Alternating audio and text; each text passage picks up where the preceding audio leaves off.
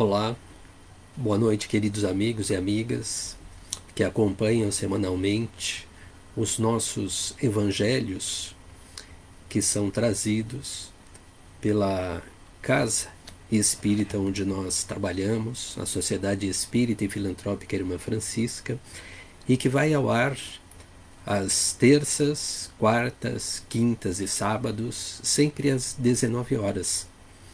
E nós Agradecemos de antemão a, a participação de vocês, é?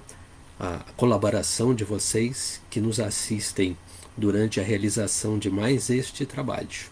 Os evangelhos normalmente eles se realizam presencialmente em nossa casa, mas neste período de recesso, de afastamento social, nós fazemos as lives aqui pelo Facebook e depois também ficam gravados na plataforma do YouTube. E gostaria de lembrar aqueles que tenham se esquecido, por favor, de deixar o seu copo com água, a sua jarra com água, é? enfim, a água, para que a espiritualidade possa estar fluidificando durante a realização deste nosso trabalho aqui.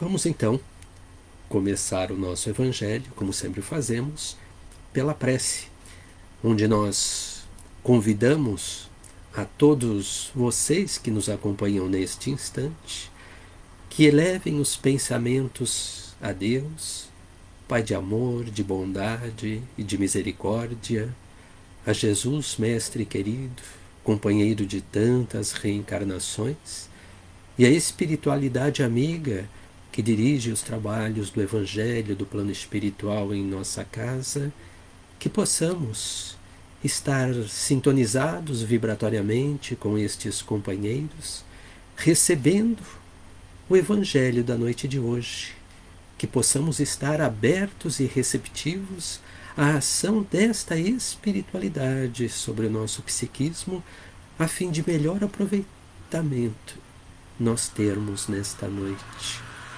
Que estas lições possam ficar registradas na nossa memória espiritual e como patrimônio delas possamos lançar mão sempre que a oportunidade se fizer presente diante de nós. Que todos nós, tanto encarnados quanto desencarnados, possamos então acompanhar os ensinamentos de Jesus para todos nós nesta noite. Mestre querido, esteja junto de nós. Que assim seja. Nós estamos nesta semana finalizando o capítulo 18 do Evangelho segundo o Espiritismo, que tem por título Sede Perfeitos. Então, aqui Kardec, nesta divisão e nessa distribuição da estrutura do Evangelho, né, colocou aqui este último item, que tem por nome cuidar do corpo e do espírito, como uma condição também para que nós alcancemos a perfeição. Senão, com toda certeza, isso estaria fazendo parte de um outro capítulo. Né? Então, o capítulo né? Sede Perfeitos, capítulo 17. E aí, a lição de hoje, cuidar do corpo e do espírito. E com ela nós vamos estar encerrando este capítulo aqui.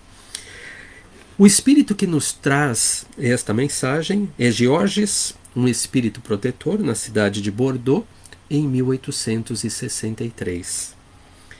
E ele começa fazendo para a gente uma pergunta: A perfeição moral consiste em martirizar o corpo?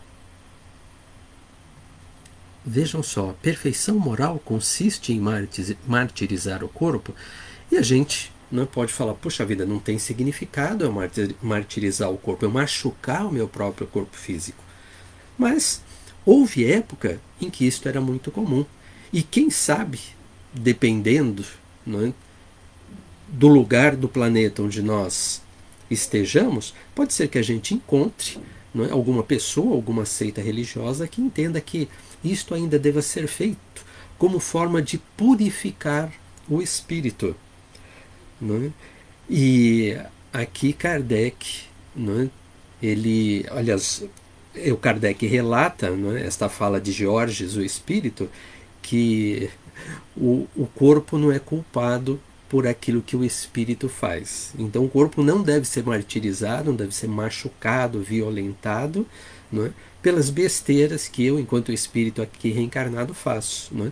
Quem faz a bobagem sou eu, o espírito, não o corpo. Não é? O, o corpo é só uma ferramenta que eu uso para eu poder me expressar e conviver com todos vocês. Na condição de espíritos, não é? desencarnado, sem corpo físico, ficaria um, um pouco difícil de realizar muitas das coisas para as quais né, eu reencarnei. Então, não dá para fazer isto. E nós também precisamos lembrar de uma fala do espírito Manassés para o André Luiz em Missionários da Luz, quando Manassés diz para André que Poucos de nós que aqui reencarna no planeta Terra somos espíritos completistas. Olha, poucos de nós somos espíritos completistas. E aí o André Luiz, curioso, né? Como ele é, né? o que, que é, Manassés, esse lance de espírito completista? Né? E Manassés então explica né, que completista é aquele espírito que reencarna e vive o período previsto né, para a existência do corpo físico né, estabelecido no seu planejamento reencarnatório. Então, todos nós, antes de reencarnarmos, quando estamos lá no departamento da reencarnação, elaborando o planejamento reencarnatório, né, para desembarcar aqui no planeta Terra, né, é, nós temos definido um tempo de vida pelo plano espiritual, segundo as nossas propostas de realizações estabelecidas lá no planejamento. Agora, a grande maioria de nós, espíritos aqui reencarnados, segundo a fala de Manassés, né, nós desencarnamos antes do tempo previsto. Por isso, não somos espíritos completistas.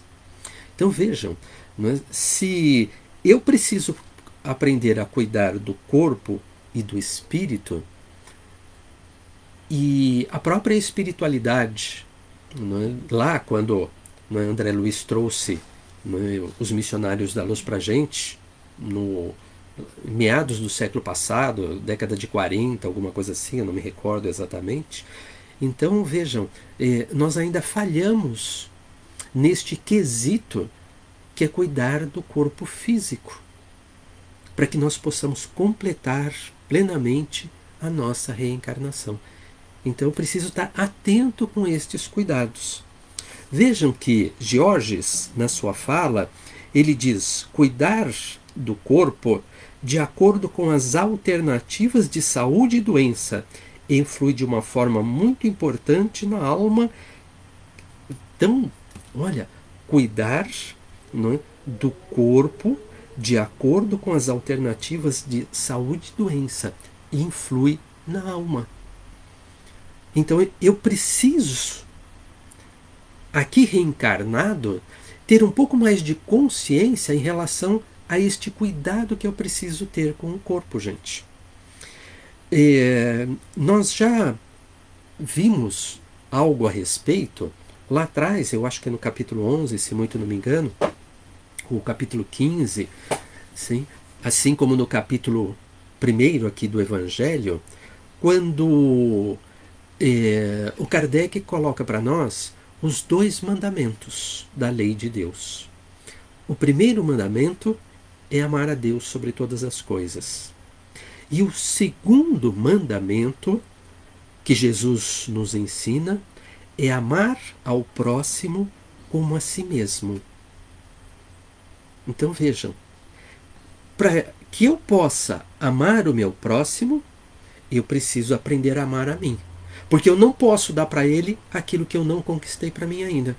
Imaginem vocês, eu posso emprestar para alguém uma casa se eu não sou dono da casa?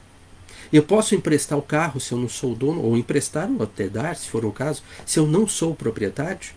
Então eu só posso dar para vocês aquilo que eu já construí aqui dentro.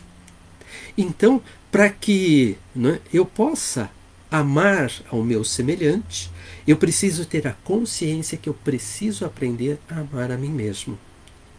E neste é, amar a mim mesmo, eu preciso realizar isto que Kardec coloca através deste espírito neste item: cuidar do corpo e do espírito.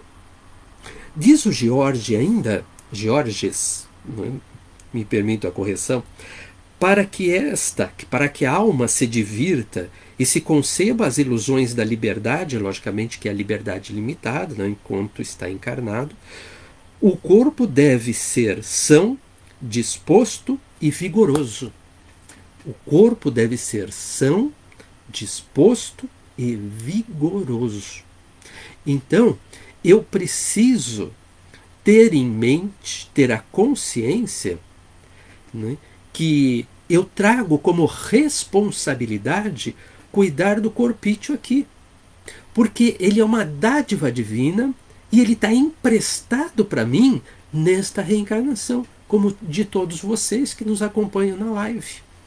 Assim, ou que possam vir assisti-la oportunamente.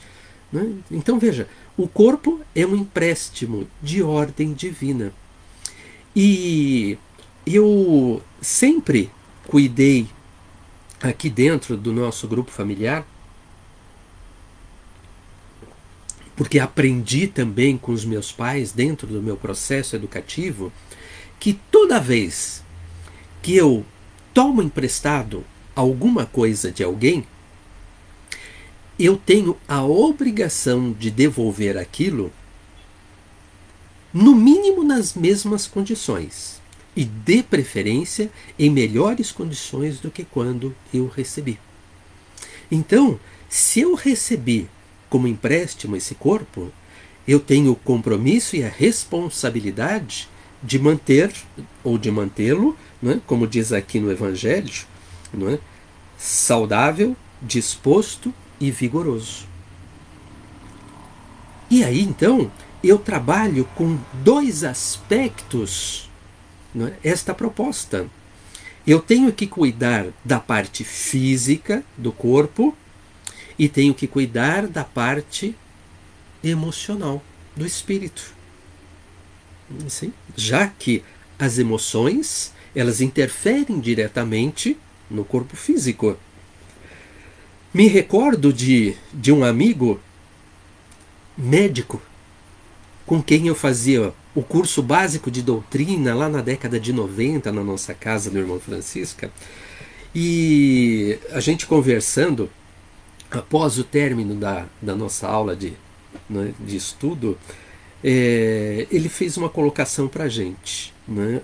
Ele disse: Olha, é, eu recebo no consultório é? do total de pacientes, aproximadamente uns 80 a 90% não tem uma patologia, não, não, não apresenta uma doença física. Eles chegam com desequilíbrios de ordem emocional. Somente 10 a 15, eventualmente a 20%, dependendo do, do período em que a gente vai analisar, é que vem com uma doença não é que precisa ser tratada com medicamento. A grande maioria deles conversa, expõe os problemas, não é? e só isto é suficiente para baixar o grau de apreensão que eles trazem. E muitas vezes a gente não precisa nem né, aplicar um receituário para poder né, curar o paciente. Então vejam que né, as nossas emoções, elas hoje, quando não conseguem conviver na nossa intimidade com o devido equilíbrio, elas nos desestruturam de tal forma que nós vamos buscar o facultativo, vamos buscar o, o médico para a solução dos nossos problemas. Então, eu preciso aprender a, a cuidar do corpo. Né? Eu preciso a, ter higiene é? pelo corpo, não é isso? A higiene é extremamente importante, o asseio corporal, é? para que o corpo não tenha a longevidade necessária. É preciso que eu cuide é? da alimentação e eu preciso olhar se a minha alimentação ela é regrada, não é isto? ou se eu cometo abusos na, na minha alimentação. Se a minha alimentação é saudável efetivamente, ou se a minha alimentação ela envereda por caminhos em que muitas vezes ela pode me provocar desequilíbrios e me prejudicar a saúde do corpo físico. Eu preciso repousar. É? As horas de sono são extremamente importantes para o equilíbrio do nosso corpo físico. O espírito não precisa de repouso, ele pode se desvencilhar, não é? pode se desdobrar não é? e ir até trabalhar junto com as equipes espirituais. Mas o corpo físico precisa de repouso. O corpo físico precisa de exercícios. Não é isto? Isto é uma máquina. E enquanto máquina, nós precisamos nos exercitar. A máquina que não é exercitada enferruja. Não é?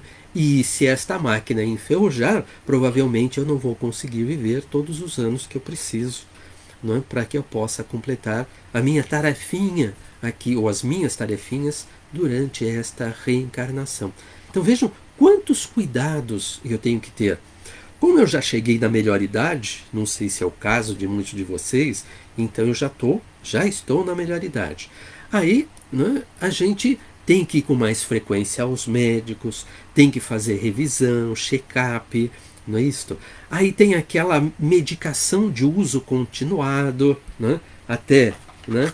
tá aqui a caixinha para depois né? encomendar. Nesse período de afastamento tem que pedir, aí a farmácia vem fazer a entrega aqui, não é isso?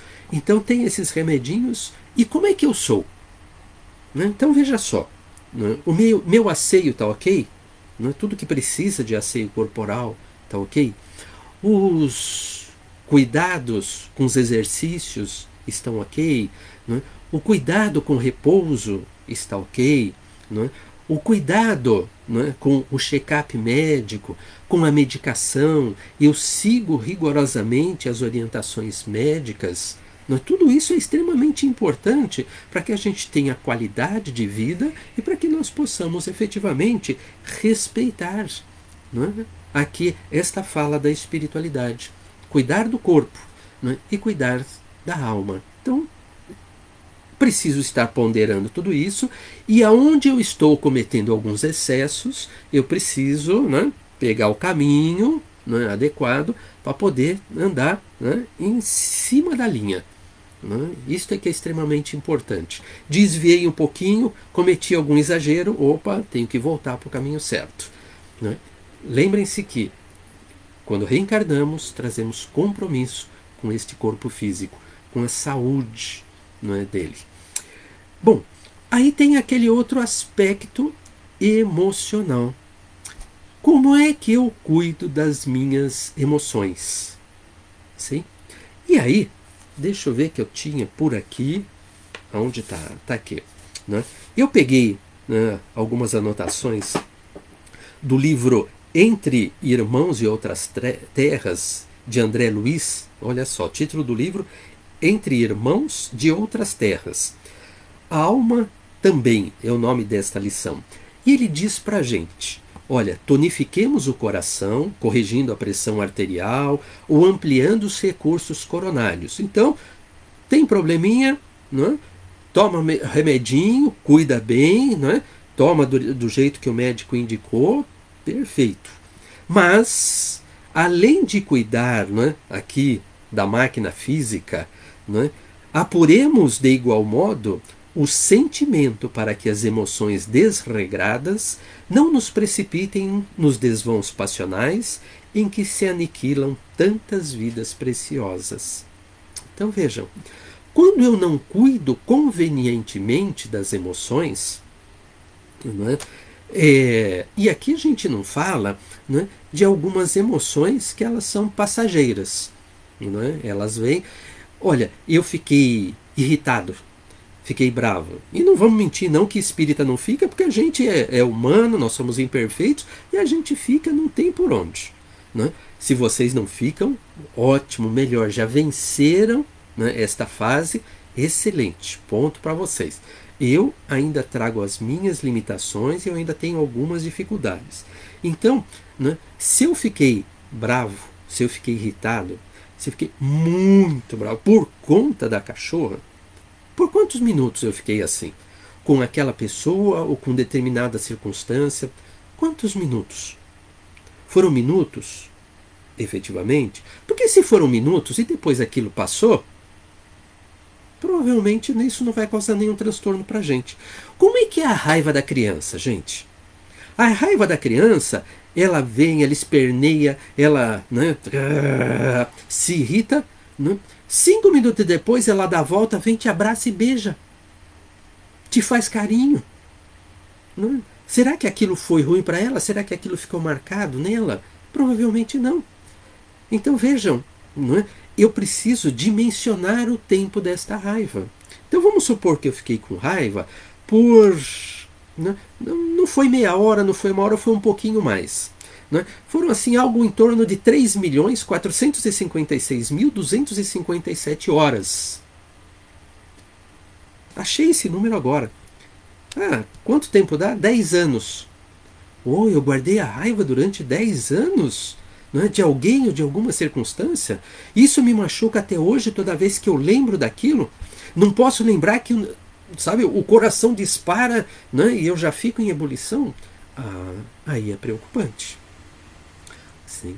Aí eu tenho que começar a me perceber diante desta circunstância e ver o quanto de prejuízo eu acumulei aqui dentro, quanto eu forcei essa instalação física que eu tenho, por o quanto esse desequilíbrio emocional me levou a construir dificuldade na minha relação com aquela outra pessoa. E quanto de vibrações pesadas eu me deixei envolver. E esse tempo prolongado acaba danificando o meu perispírito.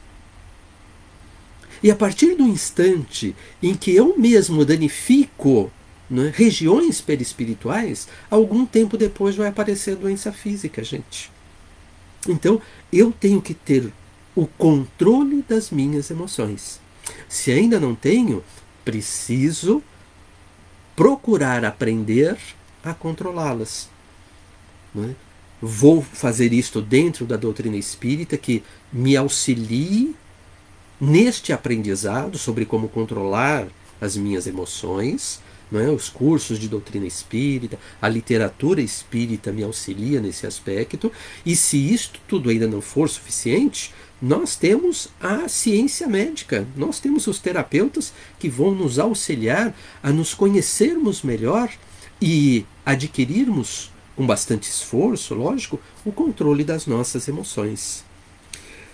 Diz André Luiz ainda neste livro, olha só, defendamos os olhos contra a catarata e o glaucoma. Então, vamos cuidar do corpo físico, vamos fazer o check-up anual não é, dos olhos, extremamente importante. Puri, purifiquemos igualmente o nosso modo de ver. Então, como é que eu vejo a vida? Por que prisma eu enxergo as coisas que me cercam? Percebam que tem pessoas que são extremamente otimistas ao enxergar o que tem à sua volta. Né? Vê beleza até em uma árvore ressequida que ainda tem na calçada. Mas enxerga ali a beleza é? em uma árvore que não tem mais vida. Em compensação, tem pessoas que, olhando a beleza das árvores floridas na primavera, né, o perfume exalando das flores, ainda assim não consegue enxergar a beleza né, à sua volta. Então, como é que eu enxergo a vida ao meu redor? Como é que eu enxergo a minha própria vida? Lembrando que grande parte da minha vida é escolha que eu fiz no planejamento reencarnatório. E a outra parte da minha vida é consequência das minhas próprias escolhas aqui nesta existência. Quer dizer, se a coisa não está boa, o responsável sou eu mesmo. Agora, veja, Cuide dos olhos do corpo físico, mas purifique igualmente o modo de ver. Será que eu vejo maldade em tudo e em todos que me cercam? Porque, por incrível que pareça, tem gente que só consegue enxergar maldade nas coisas. Né? Não que eu deva ser simplório, não é? que eu deva é? estar alheio às coisas que estão à minha volta, mas também enxergar maldade em tudo que acontece à minha volta, não sei se é para tanto. Talvez se eu buscar conhecer um pouquinho mais os espíritos que estão à minha volta e as limitações que eles trazem na sua intimidade, como eu também trago as minhas próprias limitações, os meus medos, os meus vícios, será que ao enxergar isso nos outros, eu vou ser mais tolerante e mais compreensivo com eles? Como é que é a minha crítica? Né? O meu olhar sobre as outras pessoas, como elas são, o que, que elas fazem, não é? Eu sou extremamente crítico, porque eu não posso esquecer que é? eu recebo aquilo que eu dou. E se eu sou extremamente crítico, em contrapartida, eu vou com toda certeza receber também muitas críticas. Normalmente, as pessoas que são mais condescendentes também recebem é? maior condescendência da parte de outras pessoas. É? é assim que a vida funciona no, no mundo das relações. André Luiz me diz ainda neste livro: preservemos os ouvidos contra a surdez. Ou então, tenho que ir lá de vez em quando, né? na melhor idade, a gente já sente às vezes, oh, não, não, não ouvi direito, por favor, você pode repetir? Né? Então a gente tem que de vez em quando ir lá fazer um exame de audiometria né? para ver como é que está aqui, né? o da direita, o da esquerda, e ver se eles estão equilibrados. Mas diz ainda o André Luiz: olha, no mesmo passo em que você cuida dos ouvidos, eduquemos o ouvido para que aprendamos a escutar ajudando. Então vejam, eu preciso escutar ajudando.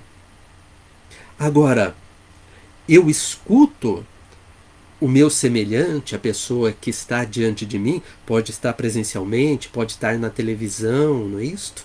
Não é? Pode estar no jornal, aonde quer que a outra pessoa esteja. Lembrem-se que, não é? Ao pensar nela, não precisa que ela esteja presente.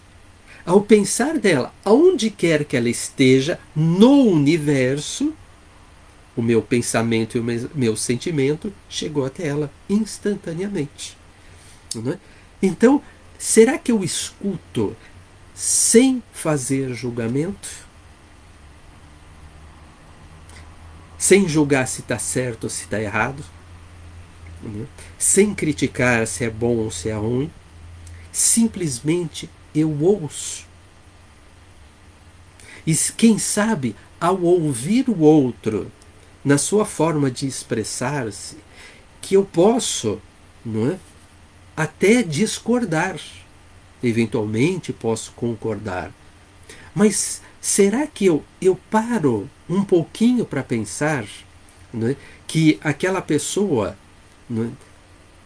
teve um processo de educação diferente do meu?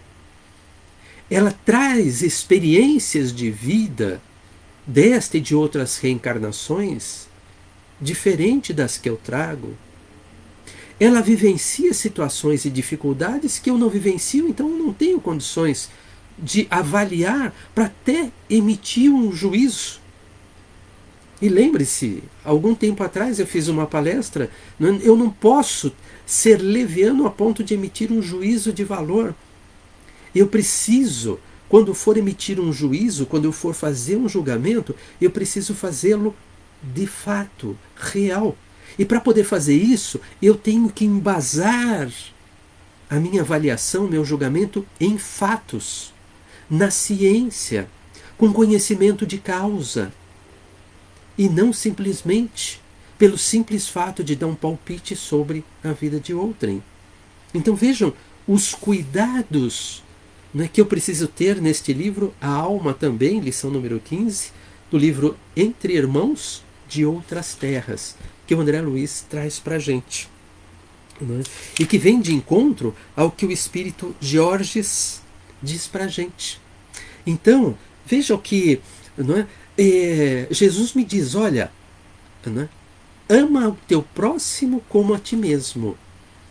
É? Então preciso aprender neste processo é? de alcançar a perfeição, como o capítulo do Evangelho me sugere, eu preciso olhar para mim e dizer que efetivamente eu gosto de mim. E cuido do meu corpo físico. Não é o cuidado para ficar sarado, não, viu, gente?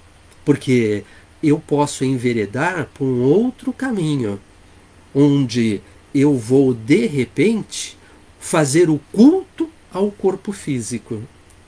E a doutrina espírita não tem esta proposta, não. não é? Eu não posso, de repente, me tornar escravo do corpo físico. Mesmo porque, lá no departamento da reencarnação, né, o pessoal da engenharia elaborou né, com muito cuidado né, um perispírito, olha só, adequou o perispírito com tudo que ele precisava de recursos para que eu vivesse esta reencarnação. Né? Com saúde, com disposição, com vigor. Olha só. Então, lá eles elaboraram o perispírito.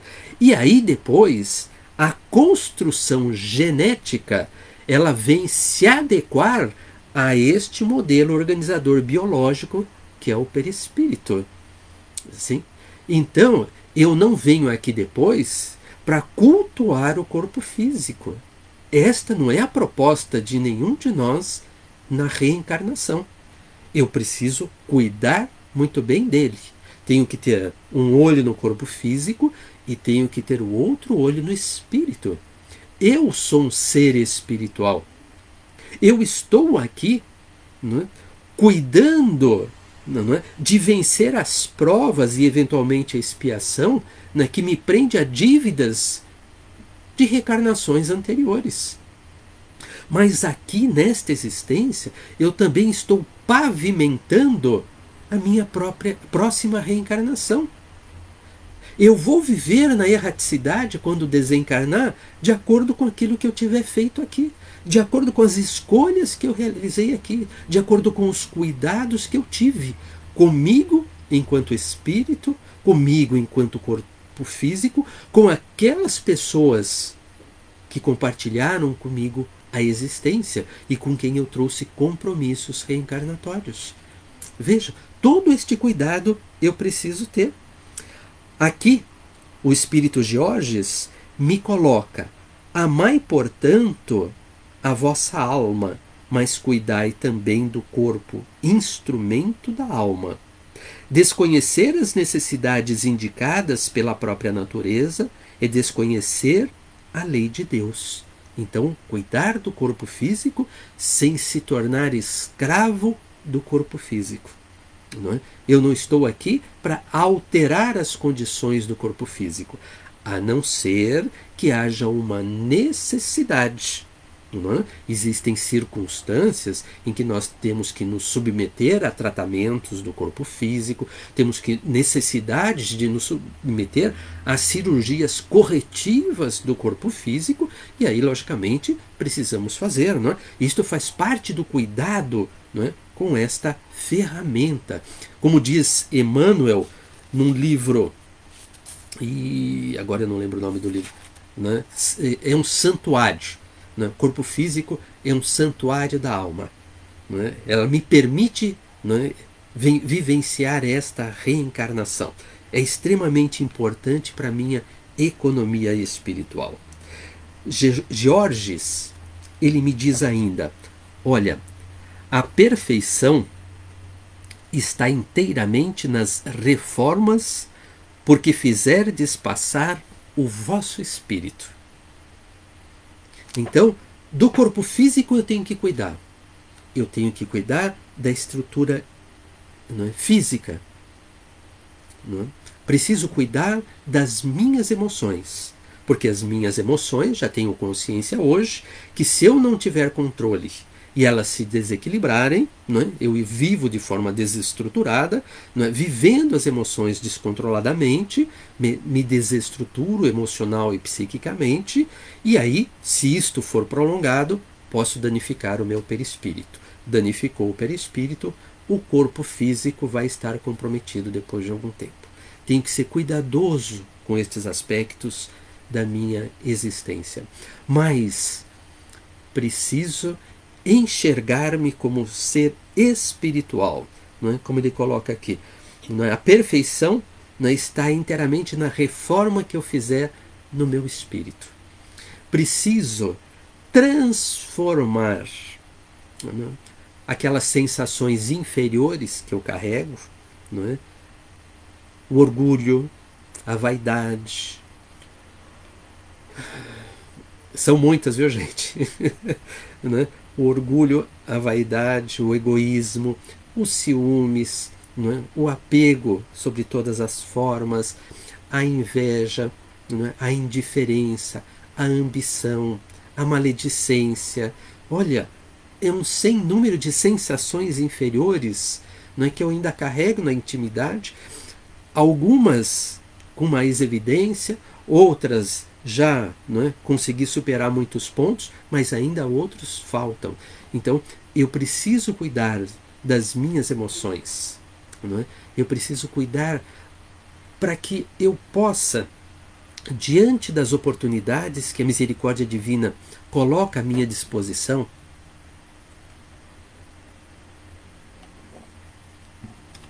para eu provar para mim mesmo se eu já consegui é, vencer a prova é, da calma, da paciência, da compreensão, é, da abnegação, da compaixão, da piedade, se eu conseguir vencer essas provas, não é isso? Se eu conseguir construir então sentimentos que aos poucos, é? estes sentimentos elevados, as virtudes construídas, elas vão se sobrepondo àquelas emoções desequilibradas, aquelas sensações, àqueles vícios que eu ainda trazia.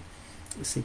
Então, eu preciso desenvolver todos os esforços ao meu alcance, lembrando sempre que eu tenho permanentemente a ajuda do meu anjo da guarda, da espiritualidade, para poder colocar em prática tudo aquilo que eu preciso para realizar de transformação na minha existência.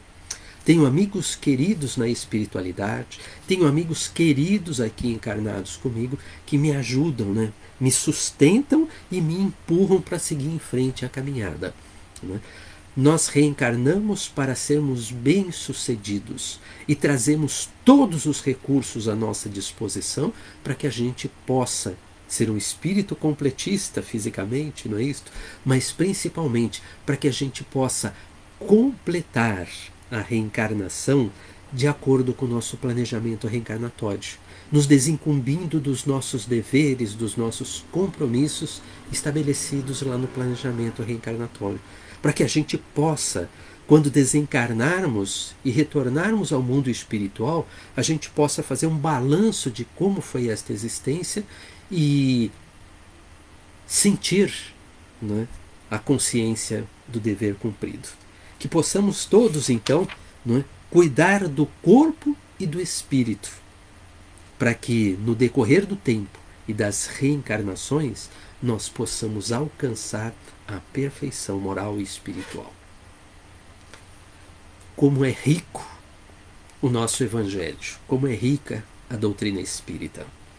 Que possamos aproveitar cada vez mais todo o aprendizado que Jesus nos proporciona a cada pedacinho do seu Evangelho. Eu gostaria de pedir a todos, então, nestes instantes, que fechassem novamente os seus olhos, que respirassem calma, suave e profundamente, e que se sentissem nestes instantes abraçados pelos bondosos amigos espirituais que se encontram ao lado de cada um de nós, vibrando intensamente, para que nós possamos nos sentir mais esperançosos nestes momentos, mais seguros na nossa própria existência e envolvidos nesta atmosfera que a espiritualidade proporciona a todos nós durante estes momentos da realização do Evangelho. Sabendo que os amigos espirituais estão presentes conosco, que os passistas da nossa casa, nestes instantes presentes também, se dispõem a colaborar com a espiritualidade, e que nestes momentos realizam o passe à distância em todos nós que nos encontramos sintonizados em Jesus, a fim de nos renovar as energias, de nos fortalecer o corpo e o espírito, de insuflar em nós esperanças.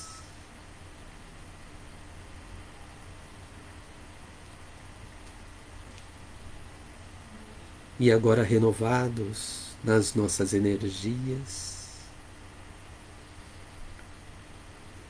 que nós possamos,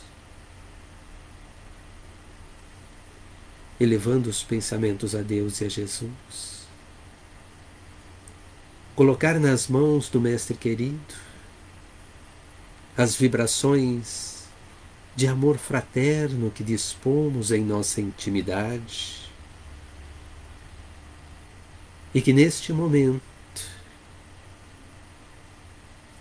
Jesus possa multiplicar estas vibrações que ele recebe de tantos pontos do planeta Terra em benefício de todos os irmãos da humanidade terrena, dos dois planos da vida e que se encontram em lágrimas, em sofrimento, necessitados do corpo e do espírito, a fim de que possam se sentir amparados pela misericórdia divina,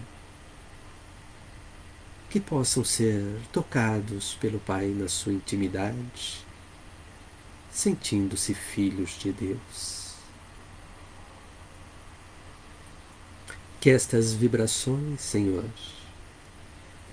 possam envolver a humanidade terrena neste momento difícil pelo qual ela passa, momento de transição, momento de aprendizado para nós espíritos que aqui estamos reencarnados e que precisamos extrair das lições deste afastamento social o aprendizado de que precisamos para ajudarmos a espiritualidade no processo de transformação deste planeta em um mundo de regeneração. E que estas vibrações possam ainda envolver carinhosamente os nossos irmãos que têm retornado em grande quantidade ao mundo espiritual, a fim de serem acolhidos, amparados, assistidos e esclarecidos pelos benfeitores espirituais, dando prosseguimento à sua jornada na erraticidade. E vos agradecermos, Senhor, pelas bênçãos do teu aprendizado nesta noite, pelas oportunidades que Deus nos concede de provar tudo aquilo que nos ensina Jesus nas nossas relações com os nossos semelhantes. Agradecermos-vos, Senhor, pela família e pelos amigos que nos destes nesta existência, os da terra e os do céu. Agradecermos-vos, Senhor, por estarmos aqui presentes nesta noite, pensando em Ti e recebendo de Ti as bênçãos da luz e do teu amor. Da nossa parte, Senhor, recebe a nossa gratidão. Que assim seja.